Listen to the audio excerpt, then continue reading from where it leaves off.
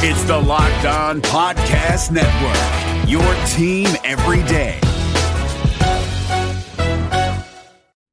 I'm Lindsey Crosby, host of Locked On MLB Prospects. Now that we've reached the halfway point of the MLB season, we're gearing up for the MLB draft. It's coming up in just a few weeks, and there's lots of storylines to discuss.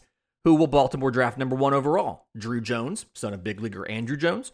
Or maybe Termarr Johnson, who has the best hit tool of any prep player drafted in the last decade? We know it's going to be a hitter heavy draft. There may not be a pitcher drafted in the top 10 picks for the first time since the draft was instituted in 1965. We'll have you covered with everything you need to know as we run up to the MLB draft and then pivot to the trade deadline as the playoff contenders exchange prospects for the pieces they need for the stretch run. Check out Locked On MLB Prospects. It's free and available wherever you get your podcasts. Part of the Locked On Podcast Network, where it's your team every day. Today on Locked On Rockies, the Pirates are back in town. Usually something to be excited about, but not quite this year. You are Locked On Rockies, your daily Colorado Rockies podcast, part of the Locked On Podcast Network, your team every day.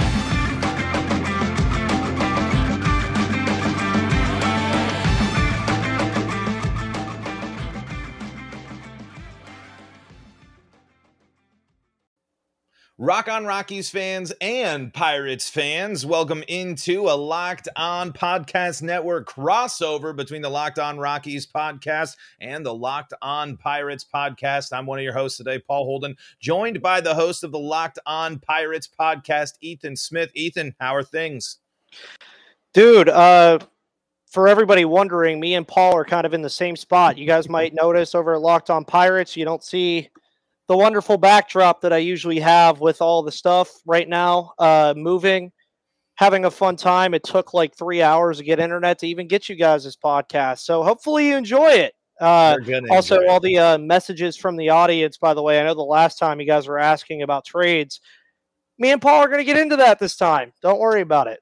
Absolutely. We're going to dive into what these teams are going to look like at the deadline, what these teams look like for the rest of 2022, and of course, what these teams look like right now as the Rockies and Pirates are meeting up for a nice weekend set at Coors Field. Before we dive into things, got to remind you that this is the Locked On Podcast Network. We are your team every day, free and streaming on your favorite streaming platform, and we're streaming live on YouTube right now on the Locked On Rockies YouTube channel. But if you want to stay up to date with all things your favorite team, you got to subscribe to your favorite host on Locked On uh, wherever on YouTube because it's a massive, massive help to us here on the podcast network. And let's dive in, Ethan. Uh, the Rockies just finished up a stretch against the NL West and played pretty good. They did get swept by the Dodgers. They, uh, but they do go back. They actually take a series from the Dodgers. They take a series from the Diamondbacks, and they win three of four against the Padres to move to eight and three on the season.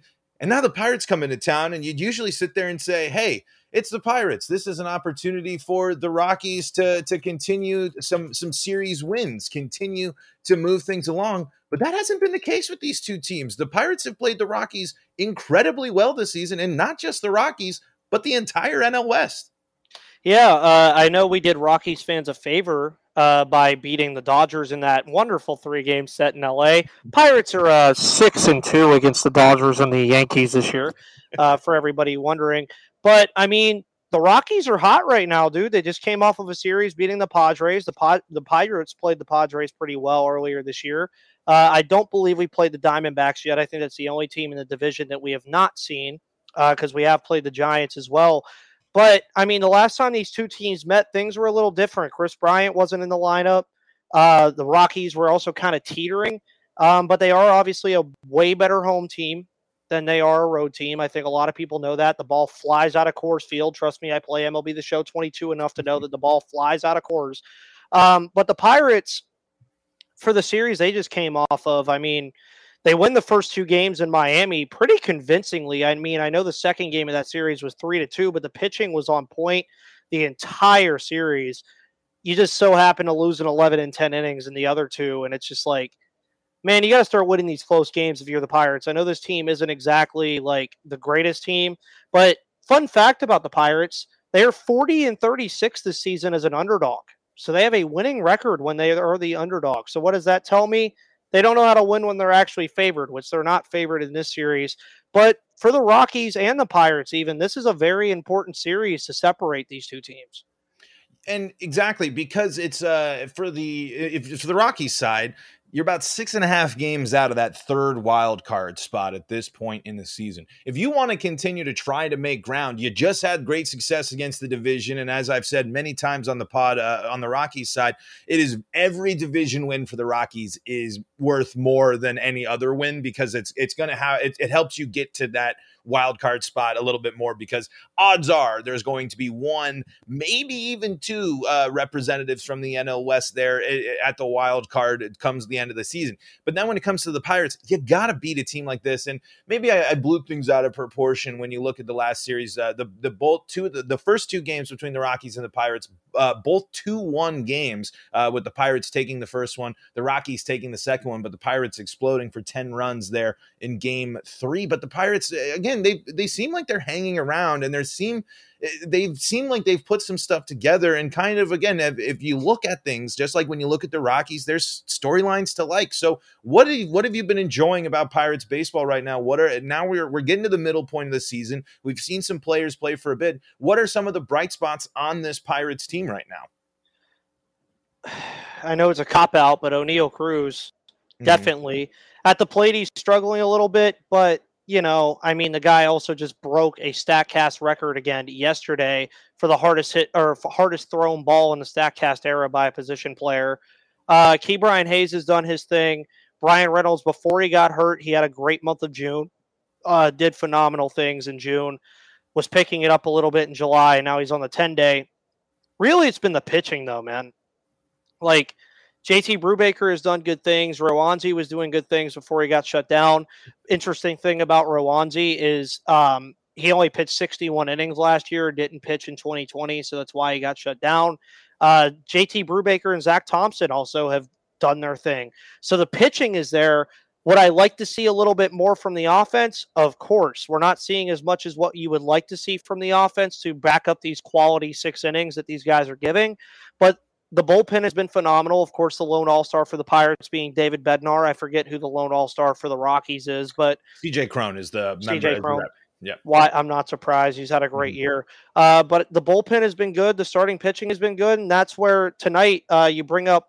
Uh, we'll talk about this later about trade pieces, but you're going to probably see the Pirates' biggest trade piece pitch tonight, in Jose Quintana, and that's what I'm liking to see. Is the Pirates a lot of these small market teams they need the pitching to really elevate them, and that's what I hope they continue to do pitching is so important for for teams and, and you can always find i mean there's always going to be some people that can put some thump in the ball but if you have a solid rotation if you have solid pitchers i feel like that's one of the more difficult things and something you can get really excited about as a team that's starting to grow and you know still in that rebuild type of mode. If you got good pitching both from the starters and the bullpen it's something that's uh, to be excited about and that's before uh, kind of you look in the past as things were gearing up on the offense for the rockies it was getting more exciting that the competitive teams the playoff teams also had those starting line, those pitchers that were successful at Coors and actually having impact on those games. And uh, yeah, one thing that's interesting too, a quick little stat here, and with being at a more hitter friendly ballpark over uh, stated from ESPN's game preview, the Pirates are 23 and 7 in games where they out hit their opponents. It's kind of an obvious stat when you think about it because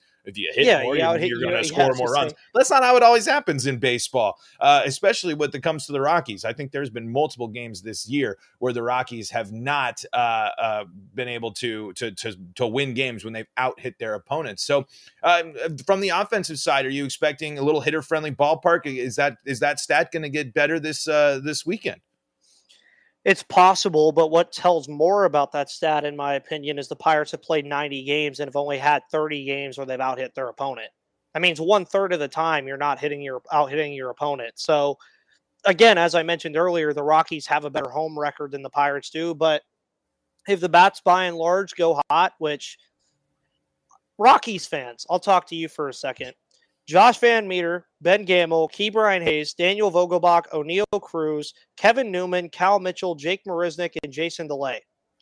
The guy with more than 75 at bats that has the highest average in that is Ke'Bryan Hayes batting 251. Not exactly great. Uh, Adrian, no. I remember you from the last time. No, Bednar is not on the table. But I mean, if this offense can get hot, it's a heavy lefty lineup. I know the Rockies have a lot of righties in their rotation. Chad Kuhl, love you, Chad Kuhl. Glad you've revitalized your career in Colorado. But I mean, you never know. Like you, I guess you said, and I said, it's a hitter friendly ballpark. We'll see what happens.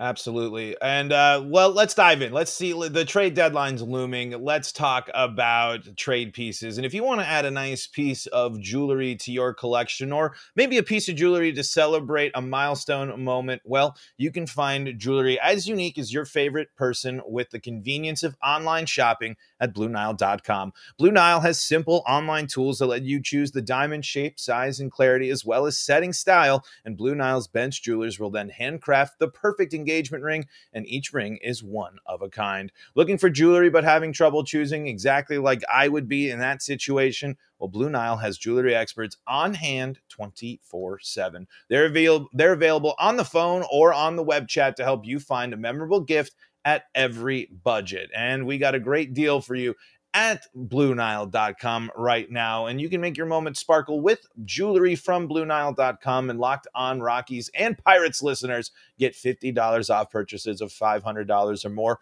This podcast exclusive includes engagement. Use code locked on. That's code locked on. Plus, Every order is insured, ships free, and arrives in discreet packaging that won't give away what's inside. Shop stress free and find your forever piece Go to BlueNile.com today. That's BlueNile.com.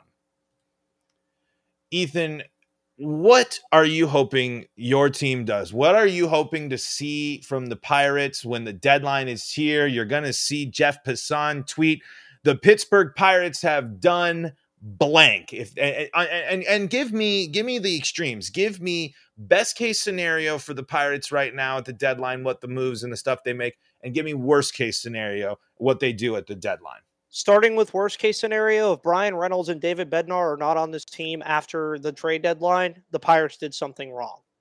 This team is this close, I think, to adding a couple pieces and being a legitimate wild card contender in 2023. I really think that. If you were an outsider from the Pirates organization and not knowing what was going on, you might be like, Ethan, you're on something. Like, what's mm-hmm. going on, pal? What do you want? For me, though, really it's just a difference in adding to the bullpen, which is already a strength, adding some bats in the lineup that are going to be strengths, which you'll also do in the organization. And I would say the guys that you would think about that you're probably going to see the Jeff Passan tweet about definitely Jose Quintana.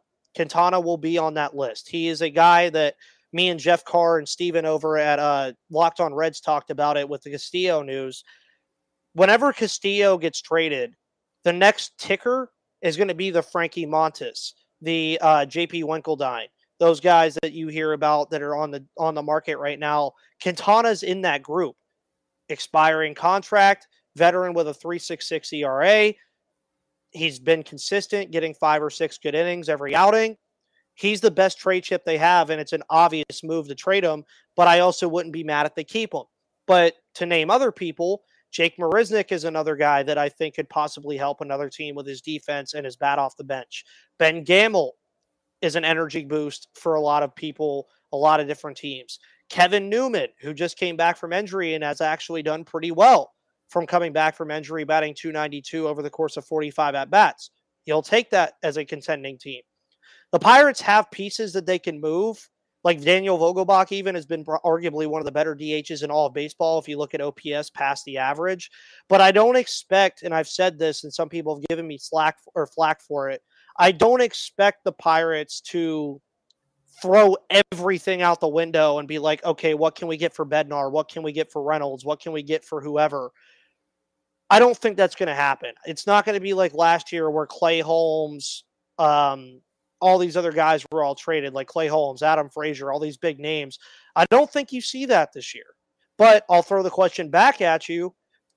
Say the Rockies do win this series, which is an expectation, I would assume. Where does that put you guys in the kind of buy buy sell market for the trade deadline? Well, I think we know. I mean, the thing is, we we've seen some early reports. We actually got a report this week. GM Bill Schmidt went on the record and says the team are, will not be sellers at the deadline. They are already embracing for that, and I think Rockies fans won't be surprised to hear that. Unfortunately, the Rockies should make moves. They need to make moves, and one of them, uh, I think, now more than ever, I, you got to trade Jose Iglesias. Uh, he is uh, having a great season. He's obviously been a great part of the Rockies defense but expiring contract and the big the big part of the future your big prospect is at shortstop. The whole idea with jose iglesias was was a stopgap was to fill time was to buy time until you can bring people up and bring some of these young guys. He is not the future of shortstop so you got to be able to move on from him because who knows? He might come back next year and help you buy a little more time but why the rockies need to stop seeing like maybe like what's up we got to see about going on and you know and, and going about uh, maybe we'll do this maybe we'll do that. the rockies need to just know and look a little bit ahead. And and at the end of the day is it going to be the worst if they get rid of jose iglesias? It might. Their, their offense mm-hmm. might stutter at least at this point with what the way he's producing later. But if you're still not finding yourself in a comp- competitive position if you you know stumble in this series you, you you do have to evaluate. Alex colome uh, Chad Kuhl, for example, again might be a, a, you know another one there. I don't think I think the Rockies are more interested in bringing Kuhl back at this point because he has really started to enjoy uh, Colorado. So again, I, I think you got to make moves, at least like for Iglesias. But if you really wanted to make a big splash, and if, if the Rockies were kind of still, and I was saying this a couple weeks ago before playing a little bit better of the stretch and keeping things relative, I think a lot of teams would be interested in CJ Cron and Daniel Bard. Cron's got that extra year of control. He, he's obviously having a career year. Uh, power bat, first base. Who wouldn't want to be putting a first base power bat DH into their lineup? Somebody that uh, you know he's got the bad splits. People might be afraid of that, but he's still going to put give you some big hits. Now, I don't think any of this is going to happen. I think the Rockies are going to make maybe one to two minor moves. They really believe, they like to believe in their team. They don't want to do rebuild. They don't want to do this. But there's no lefties on this team in the in the bullpen. There's no lefties in the organization. There's no depth there. And if you're still looking and if you're still grasping at some straws of a potential third wild card when it comes to deadline time, you got to be willing to make a move and move and move a, a, Colome, uh, uh, an Estevez, a uh, Iglesias, even a, you know, even considering they're, but they're not going to move Bard or Cron because I'm pretty sure they're going to try to keep that. They like them a lot. They're really excited, you know. in the Rockies, as much as I kind of enjoy the fact that they are committed to players, they overcommit, and it's just like, hey, bam, CJ Cron, you're you're here. We got you, and that was a great move. But it is also like in the future it CJ Cron's playing first base for you for two more years, maybe at this point with his contract. When you're getting and having Montero and Tovar and Veen and your future playing at an everyday level, is CJ Cron still going to be playing a factor? And could you move him that's going to be making a bigger impact when the Rockies are more likely going to be in that chase, maybe when teams are getting restructured? Because eventually the Dodgers are going to have to do something. Uh, they have the deep pipeline, sure, but eventually they're not going to be able to buy everybody. They're going to some they're going to go to different teams. Eventually the Padres are going to, you know, are, are will regret. Eventually the NL West will regress and the Rockies need to be on the up and up to, to there while they're at this point where they're they're still fighting for their lives. But again, it's you still sit there and you're just like, well, like if if the chips fall correctly, the Rockies could be in a position to uh to to be competitive. But I don't want to be sitting there in August still saying like, well, they might when they're still five and a half back when they could have yeah. gotten, a, you know, they could have flipped Iglesias for a nice left-handed uh, arm that's in AAA right now that can come and be major league ready, or a nice left-handed bullpen arm to come to come help you out now. Yeah, and that's the thing is like these teams have a lot in common. I'll say that. This Rockies team, after watching them, seeing the record, seeing how you're talking about them, reminds me a little bit about the 2018 Pirates when they mm-hmm. were right there. They were right there. They were a couple games back. They said, you know what? We're going to go grab Chris Archer. We're going to go grab Chris Archer. He's going to be the difference. He'll get us in the race. It didn't happen. I'm not saying it'll happen. That's the same way it'll happen for the Rockies. And also for your own sanity after losing Story and Arenado, I really hope you don't make a Chris Archer X trade with a team to go get some guy that you end up giving up your top prospects for. But I don't blame your management for saying, okay, say they sweep the Pirates and the teams ahead of you maybe even win the series, but lose a game there. That's a game you're adding on. That's the thing I love about baseball. It's such an intricate little game because, yeah, for Yankees fans, they could think, ah, you know, we just lost to the Reds, that whole deal, like whatever happened in New York this week with the Reds and the Yankees. You never know. Maybe they start slumping in August and that race gets tighter for that top spot in the AL. And they have to look back on that series and say, we couldn't beat the Reds once. Like, you know, even the Dodgers, for instance, can lo- go back and look at that Pirate series and say, we squandered three games against the Pirates in the middle of May, and that cost us winning the NL West. Mm. It's all things that happen. And that's why I like that the Rockies are coming out and saying, like you said, he's coming out and saying, we're not selling. You have no reason to sell. You're right there pretty much as long as you start playing good baseball. And that's why in 2018, at the time, that Pirates trade didn't seem too bad. But then we didn't know that Shane Baz, Glasnow, and uh, Meadows were going to turn into what they are now. So you never know, man. I, yeah, I, I it's hard. It's very hard, and it is like, yeah, there, there. You look at the the stats, and you look at some of these Rockies players, and it is kind of like this team should be better, but there is, and but it's it's sometimes just kind of being realistic. And I just yep. don't think the Rockies front office is always realistic. They never want to, you know, never want to embrace rebuild, never want to do this, never want, but instead it's like, he could have just made some shifts and it could just be something small. And, you know, sometimes even with these expiring contracts, I think players and, and everyone need to be more open minded to, hey, we're going to send you off at the deadline, but let's talk in the off season. Like, let, let, why not? We're, we're in a spot you can go see what you like. You can kind of experience it, but we're more than willing to, to, to talk about bringing you back. And it, it's, I would just like the Rockies to kind of address some of their things. They just, uh, it just doesn't seem like they are doing a lot.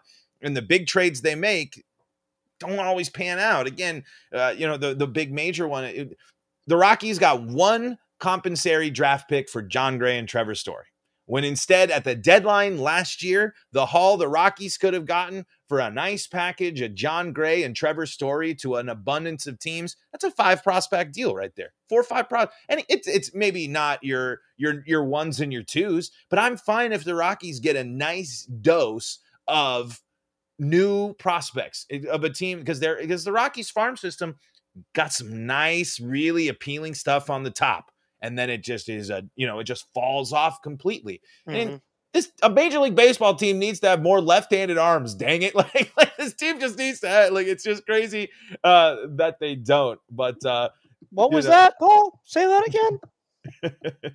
it's they Wait. need more left-handed arms. yeah, yeah. I was gonna say because the Pirates once they trade Quintana, guess how many left-handed arms they're gonna have in the starting rotation?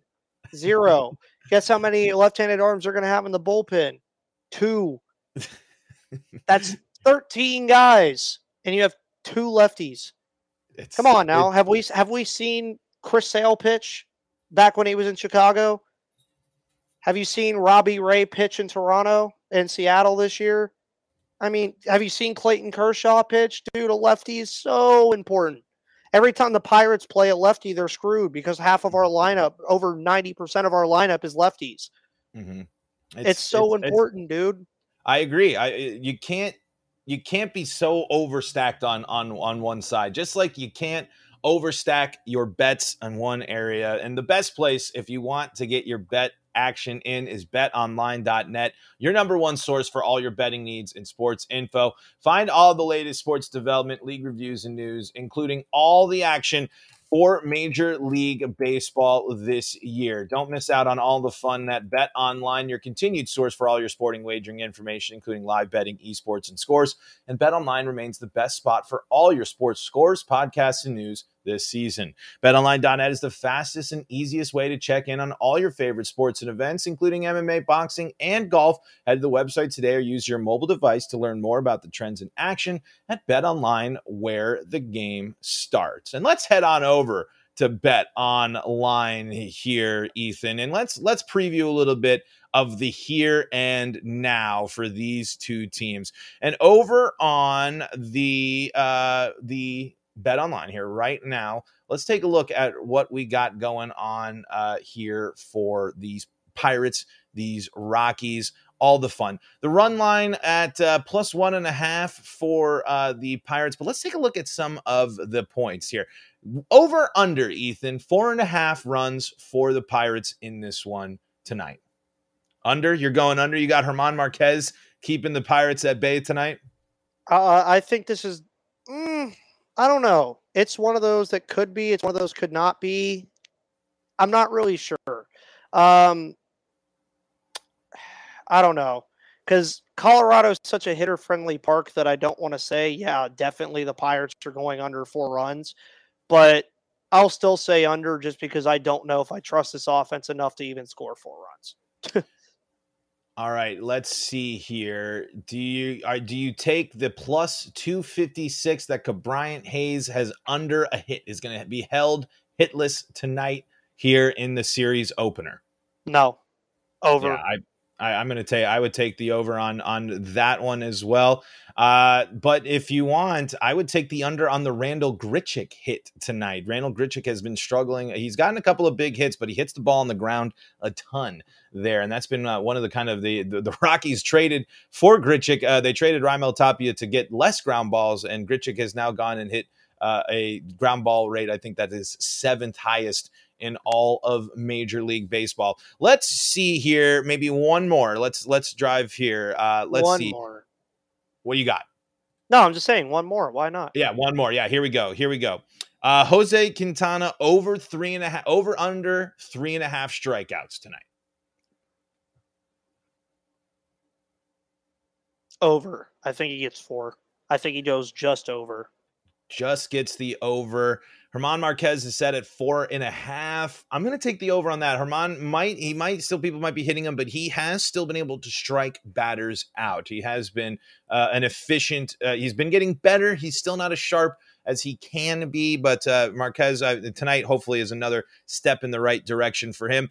Ethan, let's wrap up with our series prediction. I got 2 1 Rockies in some classic Coors Field games. I got these games being ridiculous. I got these games sitting in that 8 to 6 nine to seven. I got a couple of those in there. And then I'm sure there's going to be one where it's going to be zero zero until the sixth, something like that.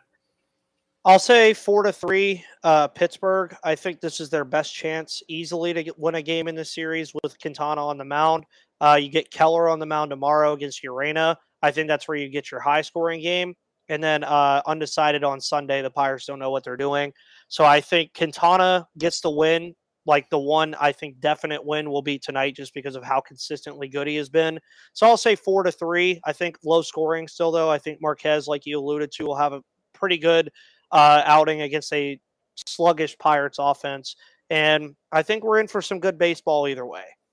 Going to be some great baseball and, and even better baseball analysis coming to you all here on the Locked On Podcast Network from two wonderful podcasts, the Locked On Rockies podcast and the Locked On Pirates podcast. I'm Paul Holden. You can find me at Paul Holden 33. You can find Ethan there at MVP underscore Ethan on Twitter. Make sure that you're subscribing to Locked On Rockies and Locked On Pirates on YouTube. Now that you made us your first listen of the day, why don't you go make Locked On MLB Prospects your second listen of the day? And of course, if we want to stay up to date with things across the world of sports, the Locked On Podcast Network has you covered. Ethan, close out the show. What what's the last closing words that we have for our audience today?